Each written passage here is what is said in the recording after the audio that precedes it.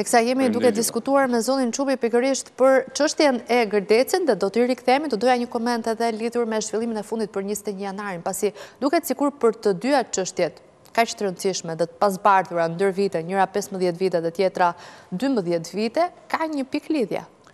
Ka një, sigurisht ka një pikëlidhje, po ndërkohë jemi të, si me thënë, Mendje hapur për të respektuar dhe procedurat e institucioneve të drejtësisë.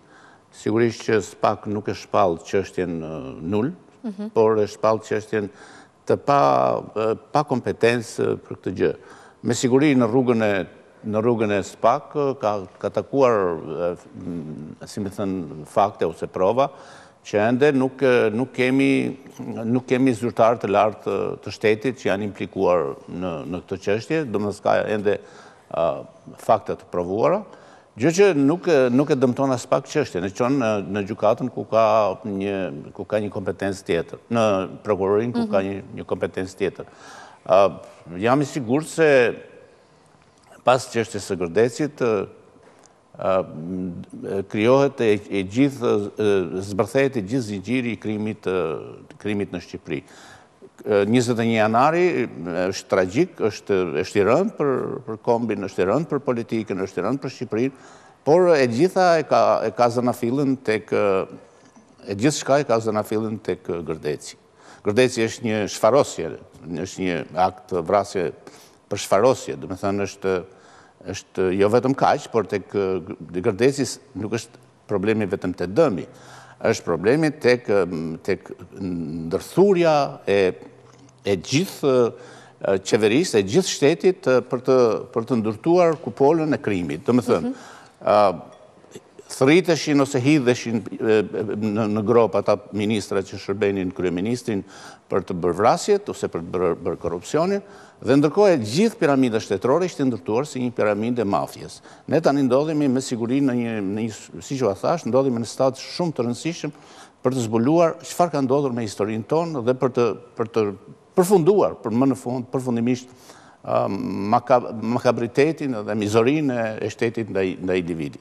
Dhe duket sikur ky hetim i ri penal i nisur nga SPAK që përmend faktin e pastrimit të parave dhe korrupsionin e zyrtarëve të lartë lidhur me çështjen Gërdeci mund të bëjë një zbardhje të plotë të të gjithë situatës dhe vënien përpara përgjegjësisë të le të themi personave në zinxhir që mund të kenë qenë Komponent të rëndësishëm, të kësaj ngjarje të rëndë. Më falni. Formulimi që bëri dje SPAK duke e ndarë çështjen në dy pjesë, është hera e parë që ndodh mhm. dhe rrëzon pretendimet e ministrit se kjo gjë është gjykuar, është është hetuar. Realisht kjo nuk është hetuar kështu dhe ministri bën edhe një lapsus kur thotë se krimi ky është Në fakt është gjithë në gjithë jetën në gjithë botën krimi qëndron aty dhe është në në disfavor të kriminelit. Domethënë krimi që është kryer është varrosur 100 vjet, 50 vjet, 30 vjet dhe përsëri ajo është ai është dëshmi e kriminelit dhe ajo ajo ajo gjithkohës gjendet. Kthimi i prokurorisë së SPAK në ndarjen dy pjesë të të të asaj çfarë ndodhi në Gërdec, domethënë pjesa e parë ajo që përmendët ju, korrupsioni i funksionarëve të lartë të shtetit dhe e dyta pastrim parash. Është për herë hera e parë që që formulohet. Dhe është hera e parë që formulohet, por që inkludon tërësisht familjen e kryeministrit, qeverinë e kryeministrit, ne do ta shikojmë gjithë qeverinë e Berishës së asaj kohe do ta shohim në burg. Keni do po të po të vijojë kjo Sigurisht që do vijojë hetimi, sepse jeta jeta vazhdon edhe pse kanë kryer krime të mëdha. Ndërkohë aty ka një ka një problem shumë të madh se pastrimi i parave, edhe pastrimi i parave. Mhm. Edhe edhe korrupsioni i madh i i zyrtarëve të lartë janë kryer nga e njëjta dorë, domethënë nga një nga familja e Berishës. Domethënë, korrupsioni mos mos harrojmë një gjë, të sjellim parasysh fakte që domethënë bosi i vërtetë i, i Gërdecit, Shkëlzen Berisha, e la i la njerëzit në një gjendje tmerrësisht të rëndë, edhe pse Diveroli në me, kishte marrë në, në Pentagon 300.000 dollar për të 300 milion dollar për të për të bërë për të bërë demontimin, për, për të bërë transportin e e armëve në Gërdec tek njerëzit nuk është investuar as edhe një as treqind dollarë nuk janë nuk janë investuar ata kanë punuar si skllevër dhe kanë qenë gjatë gjithë kohës të të rrezikuar në raport me pretendimin e ministrit se kjo është një procedurë Unë e kam mbyllur çështjen procedura, ministri me siguri tenton patjetër të shpëtojë veten e tij, por duhet duhet t'i kujtojmë sepse e kanë ngopur shikuesin, e kanë ngopur lexuesin, e kanë ngopur publikun me fjalën procedurë në drejtësi. Procedura është e rëndësishme, sigurisht është e rëndësishme, nuk është gjithçka. Dhe procedura nuk është qëllim në vete. Procedura është një prej parimeve të drejtësisë. Pastaj parimi më themelor është parimi i ndëshkimit, Dhe pastaj parimi më i tretë, më i shumë i rëndësishëm, rikuperimi i së drejtës së cënuar prej aq kohësh. Procedura, ju thashë, nuk është qëllim në vetvete, por ka për tendencë, e gjithë procedura ka për tendencë të sjellë drejtësinë, të sjellë konsekuencën dhe të sjellë vendime gjyqësore të të pranushme, të pranushme jo thjesht nga paragrafi, por të pranushme nga morali, nga nga nga publiku, nga kombi, nga nga politika etj etj. Ne ndodhemi para faktit, para një fakti shumë të rëndë, por qëndrimi më lejoni të vetëm për pak gjë, qëndrimi i ministrit i cili me sa duket ka hedhur ka hedhur si të thuash dorashkën si thonë në mundje, Hedhur dorashkën për të kallëzuar familjen Berisha. Dhe me sa duket është në rrugën për ta... Kështu e keni parë qëndrimin e tij? Shiko, ai... Qoftë edhe nëpërmjet, le të themi, reagimit që pati ditën e djeshme? Në reagimin, pikërisht në reagimin, ai shprehet krejtësisht i gatshëm për të kallëzuar familjen Berisha. Ai thotë, nëse nëse e keni dhe përpara, po besoj se e mbaj mend në tetëdhjetë për qind të saj, thotë që firmat e mia, Aktet e mia zyrtare nuk janë shkaku që kanë shkaktuar tragjedinë. Pra nuk janë shkaku i tragjedisë. Por thotë, por thotë që janë që janë vijim thotë dhe zbatimi i vendimeve të Këshillit të Ministrave. Domethënë, ai thotë më drejtpërdrejt që unë kam zbatuar urdhrat e e, e qeverisë që realisht në këtë rast kryesohej nga Shkëlzeni, jo nga Saliu. Shkëlzen Berisha ishte kryeministri, mbreti dhe dhe kryemafiozi i Shqipërisë në raport me me këtë gjë.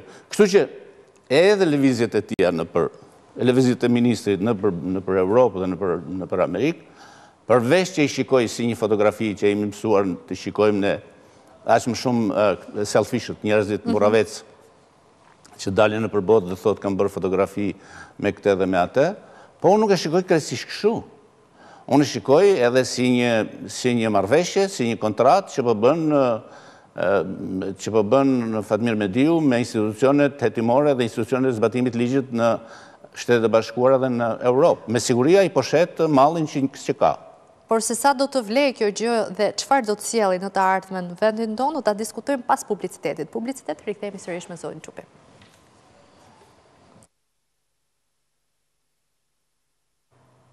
Jemi rikthyer sërish, jam me zotin Çupi. Në fakt, një pikëpyetje shumë e madhe, zoti Çupi, duke pasur parasysh edhe intervistat, por edhe deklaratat që kanë dhënë palët respektive, kam këtu parasysh zotin Mediu, tre javë më parë në një tjetër ekran, ka deklaruar faktin se gjatë 15 viteve, nga momenti i ndodhjes së kësaj ngjarje e deri më sot, nuk jam pyetur nga asnjë organ i drejtësisë, të njëjtën gjë tha edhe Shkëlzen Berisha para mediave pas daljes nga SPAK vetëm pak javë më parë.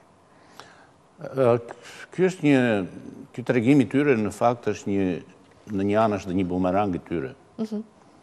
Sepse ata kanë përfaqësuar majat e qeverisjes dhe kulmet e shtetit.